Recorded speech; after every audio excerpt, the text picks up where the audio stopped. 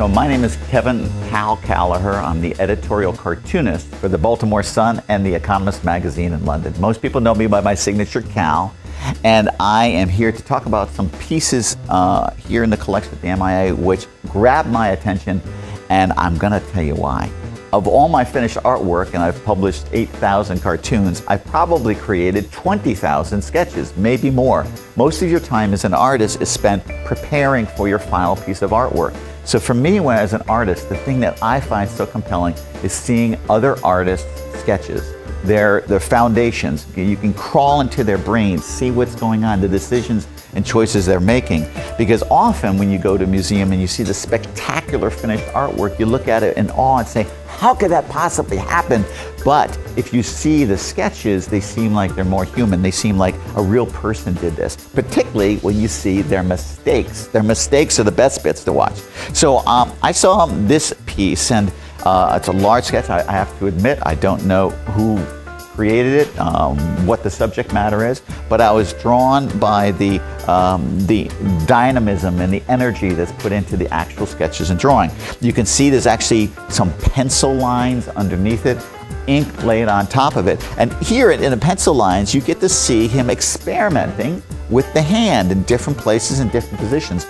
The reason why I find this compelling is that this is so familiar to me. My sketches are the same, is that you are experimenting and people think you're drawing. And of course you are drawing, but you're also building. You're building a, a body and building a set as if you were um, on theater and stage and you're trying to create the depth and the spaces and where everything goes. And the people have to be sitting on pieces of furniture or on, on, on top of shelves and that sort of thing. So I could see the artist here, first of all, trying to create a nice space, then within it, dropping the characters. A perfect example of the building is right here in the leg because he's got clothing that's going over the top of it. And I'm sure in the final, he didn't show the leg underneath it.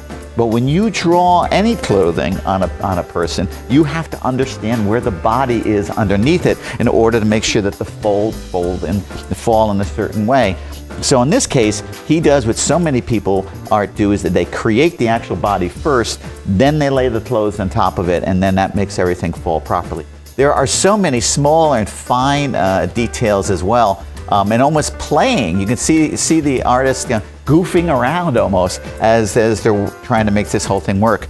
Then when you get into here, this looks like a complete mess complete mess. But in here, you can see, if you look carefully, you see the, the, the, foundations of other characters and bodies being, being built.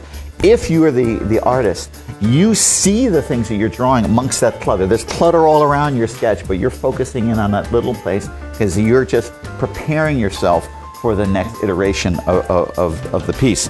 So when I see something like this happen, I'm seeing a long process um, of distillation of, of, the complex things that they're trying to achieve.